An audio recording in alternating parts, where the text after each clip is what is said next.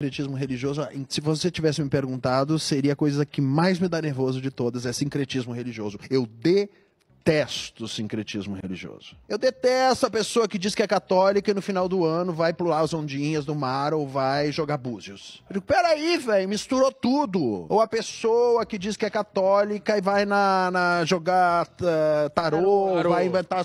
Peraí, você quer subir numa montanha, você tem que escolher um caminho. Você vai por aqui... Não, você não está entendendo. Eu sou espiritualista. Na verdade, todas as religiões são iguais. Tudo fala de amor. O respeito, temos que respeitar respeitar todas elas. Eu digo, não, velho, você é um cara interesseiro. Você não sabe para que santo você reza. Na verdade, o que você está fazendo é o seguinte: não,